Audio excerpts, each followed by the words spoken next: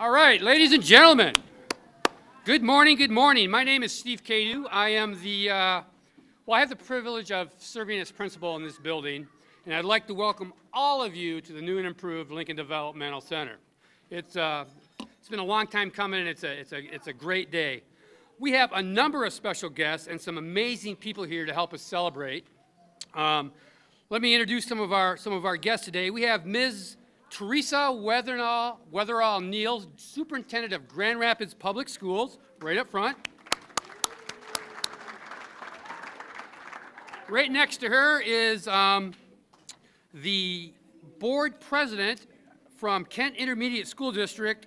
Um, I, I wrote it down.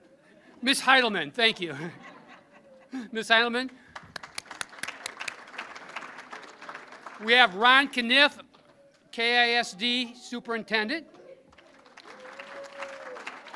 We have Mike Haggerty, who is the Assistant Superintendent of Administrative Services for KISD. We have um, Dr. Ron Flores, GRPS, Grand Rapids Public Schools Board Member. Someplace out there we have um, Tim Perino, Tim Perino is Director of Facilities for Kent Intermediate School District. We have Mr. John Helmholdt, our GRPS Communications Director. We have Mr. Ken Klomparens, Grand Rapids Public Schools Director of Facilities. We have, in addition, Paul Domowski. He is the newly named Director of Center-Based Programming for Kent Intermediate School District. Yikes. Did I get them all? I can see why Laura told me I needed to be on my best behavior. I mean, we got all the bosses here, every single one. Um, now let me take a minute and talk about some amazing, some amazing people. If you would, our guests, take a look around. Look at all these beautiful boys and girls, young adults and the, and the hard-working, dedicated staff that uh, interact with them each day. All this renovation, um, the renovation of this building, all this is for them. Everything that was renovated here last summer was done intentionally and purposefully um, for a very specific reason, whether to foster independence, to provide increased opportunities for learning, um, protecting staff and student from, from injuries, maybe guarding student dignity, uh, providing, a, providing a safe and secure environment. All of this has a positive impact on what occurs here each day, and consequently what, what occurs in the lives of our students, students and having a positive impact on what goes on in their families as well. And that's what we're all about and what those renovations are all about, making them very super important. Um, Ms. Weatherall Neal and Mr. Caniff, you guys need to know the organizations that you head up um, just did a wonderful job of ensuring this project was completed in a timely manner and in a manner that had minimal impact on those students, okay? Uh, Ron, your administrative and facility staff treated us very well when we were at the KEC Beltline building this summer. Um, your facility staff also not only participated in the planning and preparation, the construction phases, but daily are here um, trying to ensure that everything is complete and done in a, um, you know, an acceptable manner, and we really appreciate that. Teresa, our facility staff, got us here at the beginning of the summer, or got us out of here at the beginning of the summer, got us back at the end of the summer. Um, they had to operate under some very tough circumstances and very tight timelines. Um, our people from MIS, food service, um, the service building all really need to be commended. Very proud, very proud of them. And without Laura Lamar, Laura is our Director of Special Education. She couldn't be here today, she's ill, but without her unwavering support, this would be real difficult as well. So I appreciate that. Now, I would be remiss if I did not mention the efforts put forth by um, our classroom staff and our related services staff here at LDC. Um, this entire building needed to be packed up at the beginning of the summer, moved, and then moved back and unpacked 10 weeks later. Um, whatever the inconvenience, whatever the roadblock, whatever the obstacle that occurred, and there are a couple, the staff met that challenge and they did it well without ever letting it affect how they interacted with those students at all. So to that, I'm very, very, very proud of them. Um, and I feel privileged to be the, the, the leader of this building based on that and based on our students and uh, all the support that this program gets from all of you. So thank you. So on behalf of us, LDC students, staff, and our families, I'd just like to thank all this leadership here um, of Grand Rapids and KISD for making all this possible. All right? Thank you very much. Ms. Teresa. Thank you. Thank you. Good morning. I would like to welcome the staff and the students here to our wonderful program here at Lincoln Developmental Center. I just want to take time, you guys, to thank the voters in this community. If it wasn't for the voters, we wouldn't have this. It takes resources to pull this type of program off and to have the renovations. And so for all of our voters who supported us, we say thank you. Not only on behalf of the Grand Rapids Public Schools, but the entire ISD. It's all of us working together that made this possible. I want to thank your principal. Can you hear me?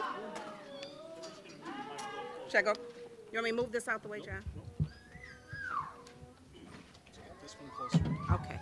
You guys, thank you, not only for the voters, but for the staff. You guys not only packed up, moved out, and moved back in, but your love, your passion for the work, thank you for that.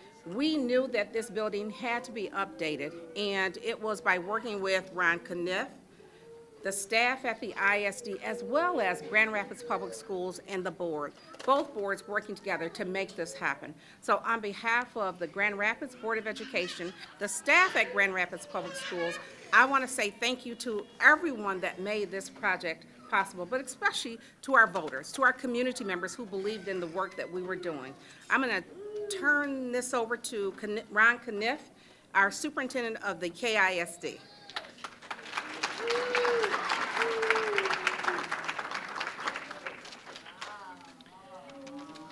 Thank you, Superintendent Weatherall Neal. Really appreciate that. You are a terrific partner. Uh, This is just one example of many, many examples of how our two organizations cooperate and collaborate with each other. And I can't thank uh, Superintendent Neal enough for being very gracious. Her commitment to children, uh, especially some of our community's most vulnerable children. So again, thank you, Teresa, uh, for all that you have done to make this happen. Uh, I'd like to thank your Grand Rapids Public Schools team. Uh, And when I talk about the team, I'm talking about everyone, your custodial facilities, maintenance staff, Ken Klomparens. Uh, Just thank you for going the extra mile. Your teachers and your staff in here. Uh, I know we had some anxious moments in August. I mean, right up to the wire, I think, and maybe even beyond the wire, whether or not we would be able to open the doors by the time uh, the school year started. But you made it happen. So thank you, thank you so much for your flexibility, for your patience, for your tolerance, uh, for going the extra mile, the moving of boxes uh, to and from, and uh, can't, can't thank you enough for that. I know you missed a professional development opportunity in order to uh, take care of some of the logistics of the move, but uh, and came in over the weekends to get your rooms ready, or in the evenings to get your rooms ready, and, and we appreciate that greatly. Uh, Several of our guests were already acknowledged, but I want to go uh, just a step further uh, and, and thank a few other individuals. Again, Andrea Heidel from our uh, Board of Education, Kent ISD, thank you for your support and the support of the Kent ISD Board for uh, this project and, and moving it forward. Uh, We do have uh, a superintendent, and at least one other superintendent in the midst. I want to acknowledge him, Jerry Hopkins from Kenowa Hills. Jerry, can you stand and take a bow? Thank you, Jerry. And we have several special education directors uh, from our local districts who are here. If you are a special ed director or you are the liaison uh, to this program and to this facility, could you please stand? And we want to acknowledge you and thank you for your presence here today.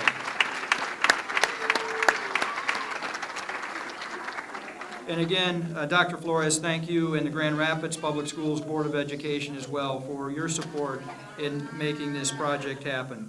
Two other special guests I want to give a shout out to. Owen Ames Kimball was the construction manager, and Kingscott was the architectural firm. I believe they have a representative here. If you're in the room, Kingscott or OAK, can you wave so we can say thank you? Appreciate that. You earned your paycheck on this one, I'll tell you what, in terms of uh, uh, some of the challenges. And as uh, Doc, uh, or as Superintendent Neal said, uh, want to thank the taxpayers as well. Not everyone understands the nuances of how these programs and these projects are funded, Uh, but this, uh, the special education millage that is levied on a countywide basis or an ISD uh, basis pays for this. We set aside one-tenth of one mil every year uh, for facilities and infrastructure projects, and that saves the taxpayers money because it means that we don't have to go out and bond for those projects, so we're saving on interest cost for the adults in the room. So as uh, Teresa said, thank you voters, thank you taxpayers for your supporting all children in uh, Kent Intermediate School District and with our community. We greatly, greatly appreciate it. I'm going to turn the floor over now, or the podium over to Mike Haggerty. Mike will get into some of the details of this project. Thank you.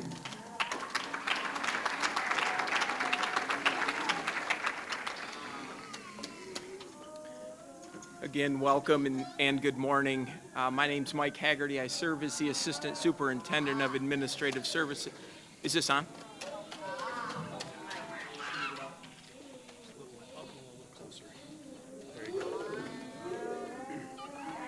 I'm Mike Haggerty. I serve as the uh, Superintendent of Administrative Services. One of those roles is facilities. And uh, I would really like to thank Superintendent Caniff and Superintendent Neal. It does take a lot of collaboration. This county collaborates and gets things done together, and I think these organizations are working together now uh, as good as any time in the future, and we have a lot of work ahead of us.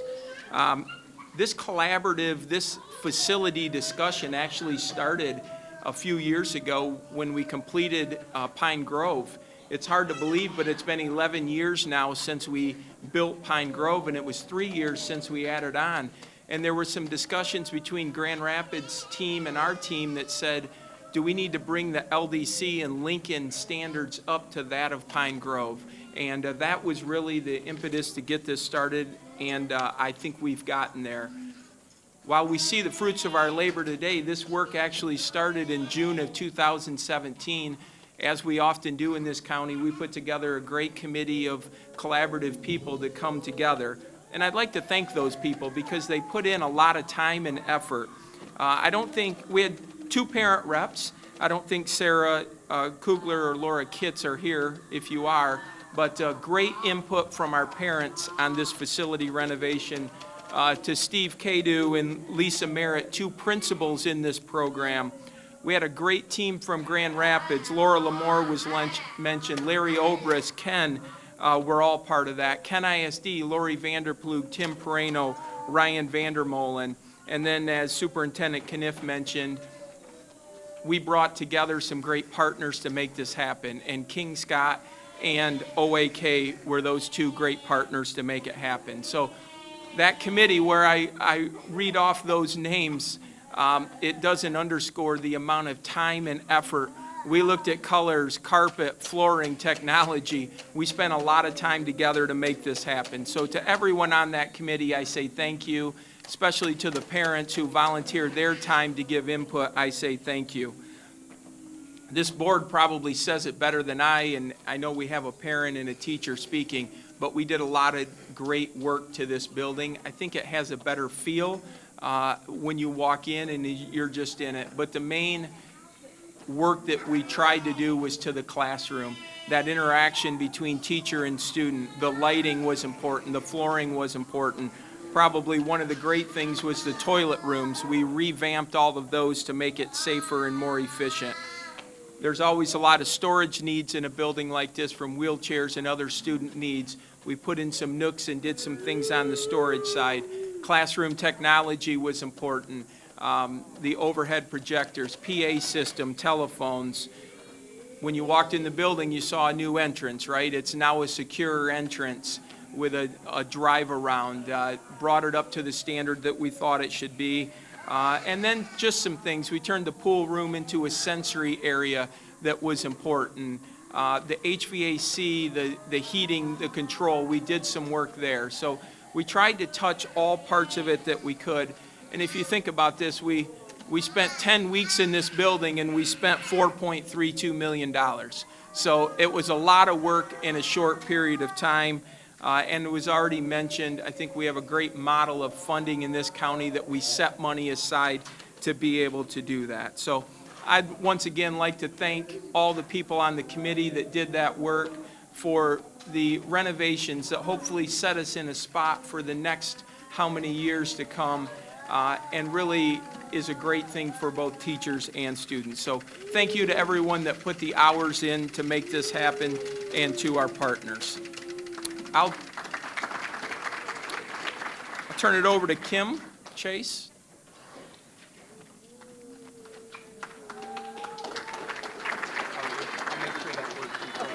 Yeah, I'm much shorter, so. Hello. My son Carson has been here at LDC for seven years, and I think I can speak for all the parents and students when I say thank you to Kent ISD and GRPS for the time, effort, and funds that went into the renovations of our school. Also, a special thank you to Steve, Rayanne, the teachers, parapros, nurses, therapists, and all other support staff for their incredible work through all of this. They literally gutted this building, set up shop in an off-site facility, and then moved back again, all within just a couple months. Oh, and I should mention, they amazingly managed to run a summer schedule that from the outside appeared to be business as usual. So thank you, guys.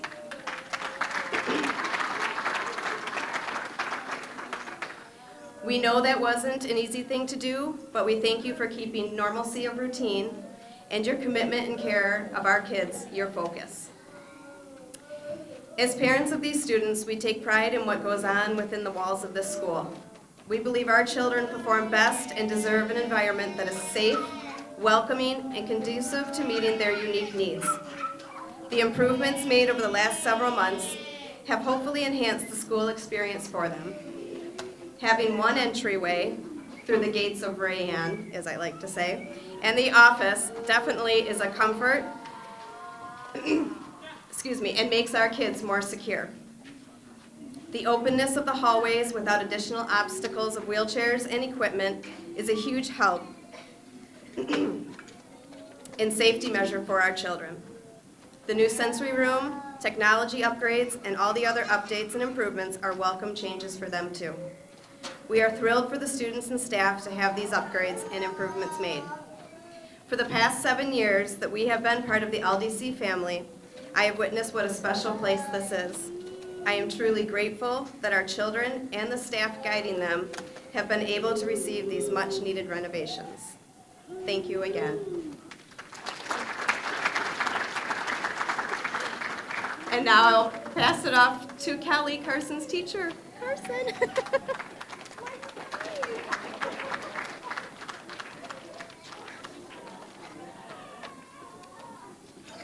Good morning. My name is Kelly Silvernail, and I want to thank all of you for coming to LDC today. On our first day back for professional development this year, we spent the morning at Lincoln School and were given our first opportunity to walk over and see the progress in our newly renovated building. What struck me most was even though there was still much to be done at that time, our building had come a long way in the nine short weeks since we had been there last. From our perspective, so much was different. Our classrooms had fresh new tile, carpet, and a beautiful new color scheme.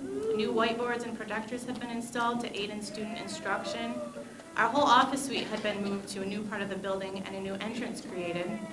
There were decisions that had been made with a clear, student-centered purpose in mind. Carpet had been removed from our hallway and replaced with tile to allow for easier student mobility. New security measures were put into place to ensure the safety of all of our students and staff. Even the tiles in the hallway were carefully laid in, a colored, in colored patterns to make measuring walking distance easier. While we are still getting used to our newly reconfigured and redesigned space, we continue to learn about and discover new improvements all the time. We are grateful for the support of Kent ISD and GRPS and all those involved in updating our school, and we recognize and are thankful for their continued promise and commitment to our students in making their space of learning safe and fully functional and meeting their unique needs. Thank you.